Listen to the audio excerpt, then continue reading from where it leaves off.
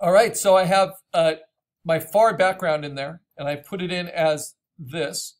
If I wanted something even more, this is compositing three things already just for the far background, which isn't really meeting my goal of trying to keep things simplified this semester, but it's just so much fun. And the far background is very easy to customize this way. So I'm going to go ahead and move this above the far background and put this in just to show you how easily stars can be composited in. I'm simply going to change it to a pin light or a soft light, right? And then play with the opacity. So if I'm going for this kind of sunset look, I can do that. And then if I wanted the suns in there, really this is just making one, one full composite landscape just of the sky. I can place it and I can decide where I want the suns to be in the composition in the far background. But now I have an issue, right? So I brought all of these in. I brought all of these in as smart layers, which means I can't cut out of them, right? The sun is the first one that doesn't span the whole image that I do actually need to cut out. So how do I do that? I take my lasso tool, and you can use your tablet, and I roughly cut. I want a lot of overlap. Think of it as like cutting out stickers around what you want from that layer. And then you hit Command J to duplicate just that selection onto a new layer. That will automatically rasterize it for you. So you shouldn't ever have to do right-click rasterize. Instead, you just hit Command J and duplicate the parts of that asset that you want to use in your composite. Then I can get rid of the smart layer, and then I can work on compositing this in as an element of my far background. Now, what I'm going to do is move my sketch on top of everything and lock it, but first turn it down to about 20%. Maybe a little bit more. Okay, let's do 30%. Okay, that way I can see where the shapes are and I can see what my sky is doing. So if I want these twin suns, which I can use the auto select tool to find, where do I want them in the composition? How large do I want them in the composition? I don't want to make them bigger than their native reference, but I can make them smaller.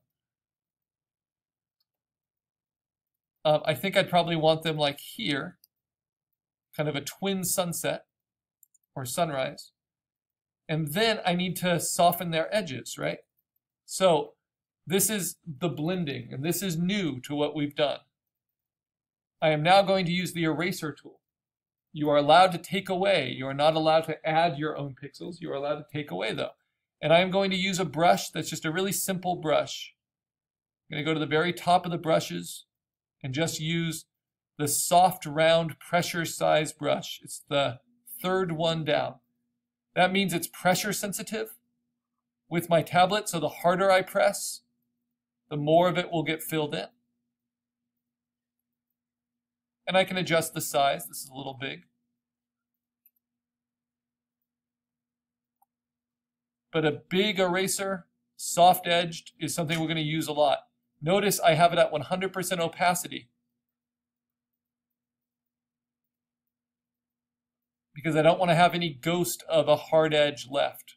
So first, I soften my cutout with a 100% soft edged eraser. That's what it looks like without the uh, sketch over the top of it, right? By doing that, I've already worked a lot to kind of blend it in.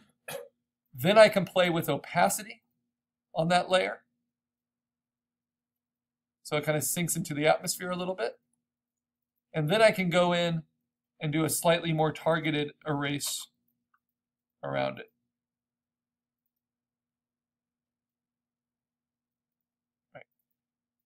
But we're just going to do kind of rough placements for now. And I kind of like this, this red halo.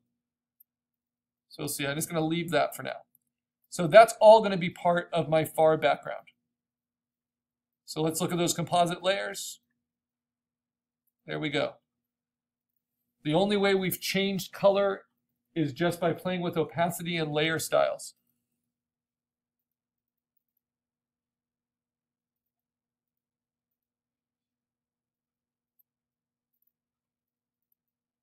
I can also try just pushing those suns back in space a little bit. Like that. Okay, now I'm going to close that far background layer. Turn it off for a second. Look at my sketch. And now we're going to go to number four. I'm sorry, number two, which is my background rock right over here. So this one's pretty straightforward. I'm going to find my assets. Uh, I got a lot more than I need.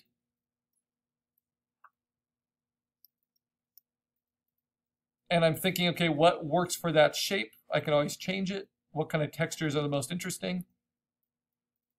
And I think I want this one. So I'm going to bring it in. And look, it's almost perfect just as it is. But I can always shrink it I can always warp it because I want it to fit within the assigned parameters.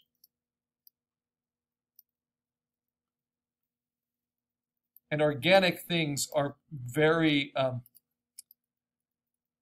flexible to these kind of changes, right? So I want that rock, and I want it to work on this background. So how do I cut it out?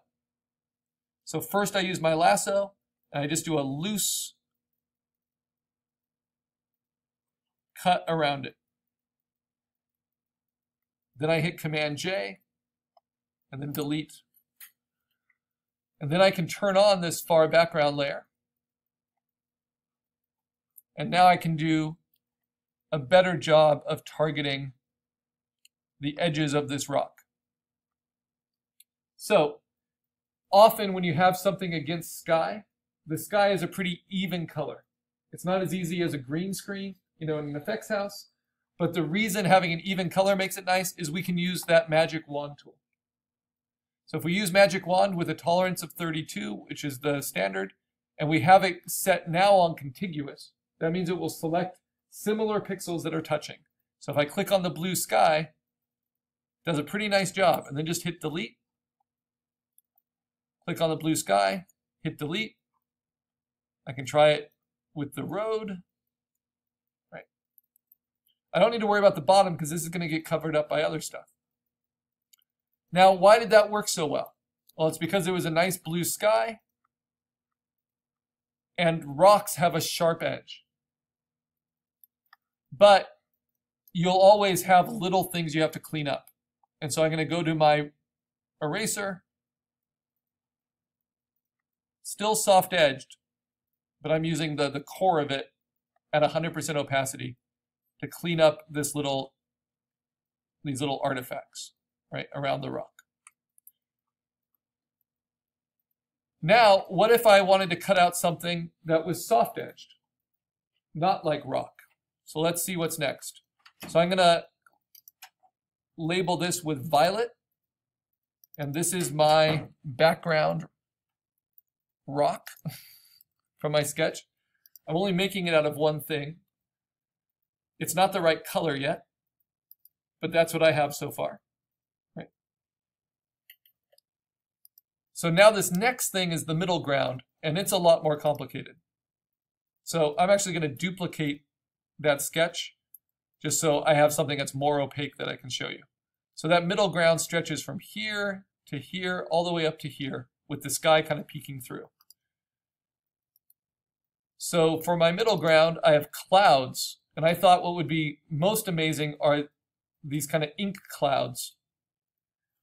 And the reference place I got for these is actually a really good one to know. It's called Pixabay. And this is a, a Google image search type of service.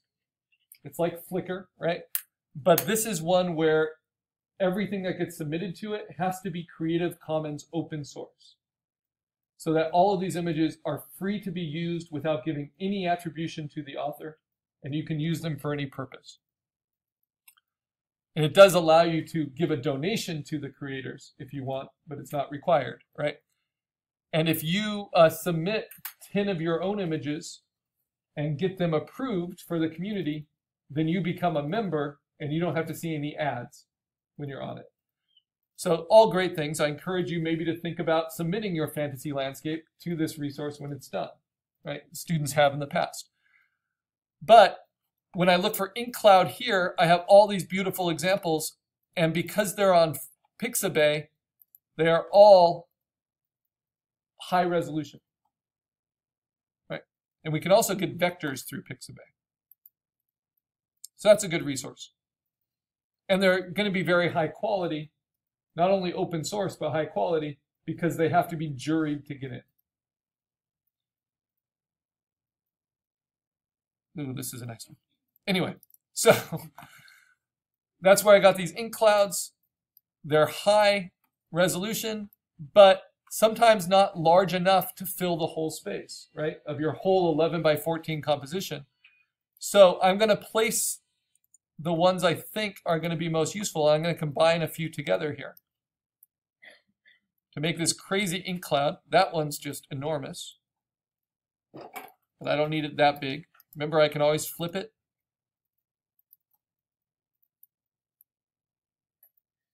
And we'll start with compositing this, which is soft edged, right? That's what I wanted to show you. Um, because it's an organic shape, I can certainly warp it and kind of place it and get it to work a little bit better for what I need.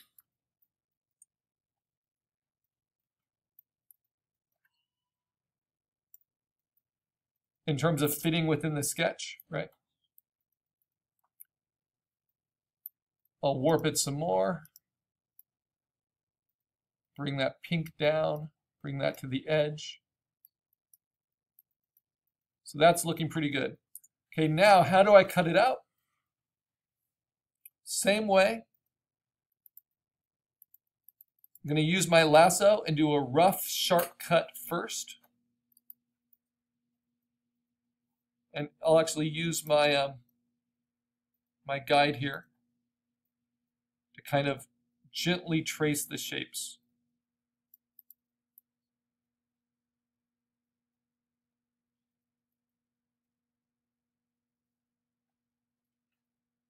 Kind of work around it. I want all that kind of mist. Okay. Then I'm going to hit Command J. That isolates it onto its own layer, and I can delete the smart layer underneath. So now how do I get it to be soft? Well, I can use my, I can just erase by hand with that 100% opaque, large, soft-edged eraser. Need to be on the right layer. And I can get it even closer.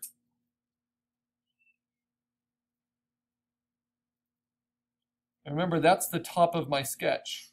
So there's no reason for me to work a lot on things that aren't in it unless I want, well, because I, I have to stick to that postcard size.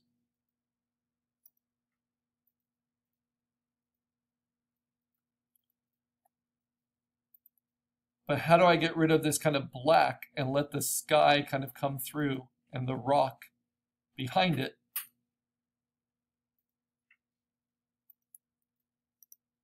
I'm going to stretch it a little bit on this edge. There we go.